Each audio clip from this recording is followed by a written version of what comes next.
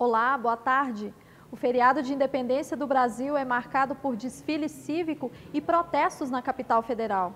A presidente Dilma Rousseff desfilou em carro aberto, em ato que contou ainda com apresentações do Exército, de estudantes e também da Esquadrilha da Fumaça. Ainda em Brasília, um grupo fez manifestação contra o governo federal com faixas, carro de som e a presença de bonecos infláveis de Lula e Dilma. Já no estado, o clima foi pacífico, porém brigadas militares de várias cidades, como Passo Fundo e Rio Grande, não desfilaram. Em Santa Maria do Herval e Farroupilha, o dia foi de aquartelamento. Em Porto Alegre, o desfile foi encerrado com manifestações contrárias ao parcelamento dos salários dos servidores. O governador José Ivo Sartori chegou a ser vaiado em protesto na Avenida Beira Rio. E em Novo Hamburgo, o 7 de setembro também foi de manifestações, mas também de amor à pátria, veja só.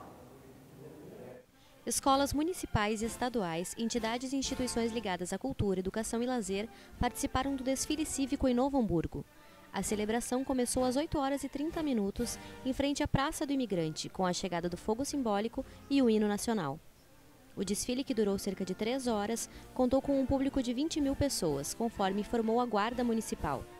As bandas marciais foram o grande destaque da manhã desta segunda-feira. A banda da Escola Estadual Caíque Madesati de São Leopoldo foi a convidada especial.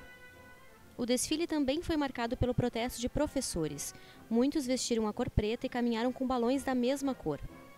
Segundo o presidente do Sindicato dos Professores de Novo Hamburgo, Gabriel Ferreira, a manifestação ocorreu devido a desacordos na negociação após a greve que ocorreu em maio deste ano.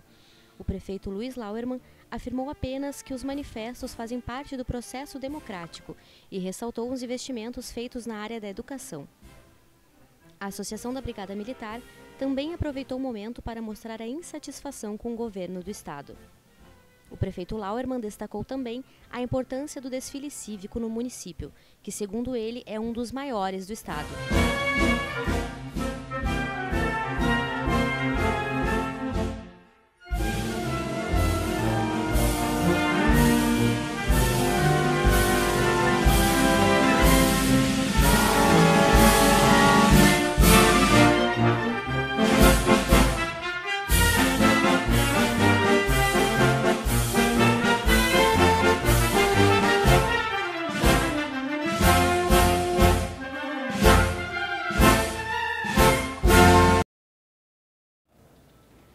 Em Dois Irmãos, jovens, adultos e crianças desfilaram um jeito especial de ser brasileiro. Neste 7 de setembro, o público prestigiou demonstrações que destacaram diversos temas, como cuidado com o meio ambiente, o respeito ao próximo e a amizade. Além das homenagens ao Brasil, a cultura alemã também foi destaque no evento, com a presença do rei e da rainha do Kerb 2015, além de bandinhas típicas. E Bom Princípio recebe até o dia 20 deste mês visitantes de diversas localidades para mais uma edição da Festa Nacional do Moranguinho. Apenas no primeiro dia de evento, mais de 6 mil pessoas visitaram o Parque Municipal. A 16ª Festa Nacional do Moranguinho de Bom Princípio começou trazendo o sabor da fruta e mostrando o que o município tem de melhor. Abrindo a festividade, o desfile temático encantou a plateia, que pôde acompanhar o resgate da história da cidade, desde a povoação dos indígenas até a chegada das primeiras famílias, que deram o pontapé inicial no processo de desenvolvimento de Bom Princípio. O desfile também destacou as profissões de antigamente, o amor à pátria, além da história do moranguinho. A banda marcial do município emocionou o público com sua apresentação. A Festa Nacional do Moranguinho segue até o dia 20 de setembro.